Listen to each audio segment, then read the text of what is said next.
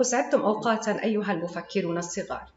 أنا معلمة اللغة العربية لمرحلة رياض الأطفال. درسنا لهذا اليوم هو درس حرف الباء. سوف أقوم الآن بقراءة بعض الكلمات التي تبدأ بحرف الباء. استمع عزيزي الطالب إلى هذه الكلمات وانتبه جيدا. ببغاء. ببغاء. هل رأيتم أصدقائي حرف الباء؟ في أول الكلمة بيت. ب بيت. بصل. بصل. بالون. بالون. بركان. بركان. بالطريق. بالطريق. يوجد الكثير الكثير من الكلمات التي يوجد فيها حرف الباء سوف نقوم بالتعرف عليها لاحقا.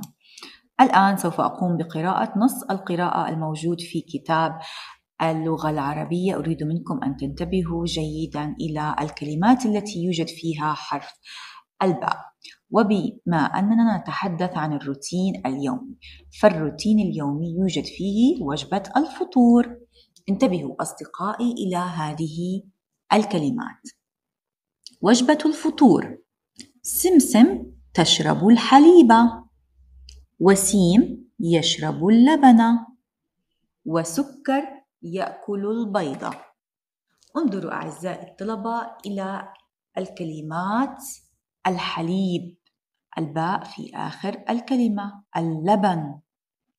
الباء هنا في وسط الكلمة. البيض. بيض الباء في أول الكلمة. أريد منكم أن تعلموا أن الحليب واللبن والبيض هو من الأكل الصحي الذي سوف نقوم بالتحدث عنه في هذه الوحدة وحدة من نحن الأكل الصحي والأكل الغير صحي. إذا وجبة الفطور أيضا هي من الروتين اليومي الذي نقوم به عادة. هنا في هذا التمرين أريد منك عزيزي الطالب أن تصل بين حرف الباء والصورة التي يحتوي اسمها على الحرف. استمع جيدا حتى تكون طالبا متعلما ومفكرا. خبز خبز يوجد فيها حرف الباء. لبن لبن يوجد حرف الباء. حليب حليب يوجد فيها أيضا حرف الباء. بيض بيض يوجد في هذه الصورة حرف الباء. أما الكعك لا يوجد فيها حرف الباء. هنا سوف تقوم بتلوين حرف الباء. الباء في أول الكلمة والباء في آخر الكلمة.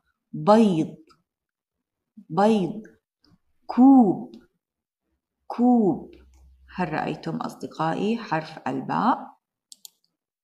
وهنا عزيزي الطالب سوف تقوم أولا بتتبع النقاط لكتابة حرف الباء في أول الكلمة وحرف الباء في آخر الكلمة ومن ثم سوف تقوم بكتابة حرف الباء من غير تتبع النقاط بطريقتك الخاصة. ولكن يجب عليك الانتباه جيدا لكتابته إنه سهل جدا. باء في أول الكلمة مثل كلمة بقرة وباء في آخر الكلمة مثل كلمة حليب. سوف نقوم أيضا بقراءة الكثير من القصص عن حرف الباء. سوف أقوم بقراءة هذه القصة. انتبهوا جيدا لها. حرف الباء بسمة بنت صغيرة. هل رأيتم أصدقائي حرف الباء في كلمة بسمة وبنت؟ تعيش في بيت جميل.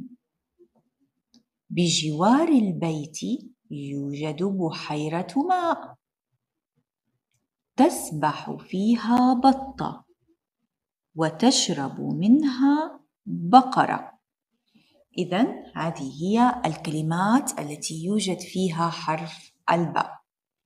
أريد منك عزيزي الطالب حل جميع الأسئلة الموجودة في هذه الصفحة وأريد منك أيضا الاستماع إلى جميع القصص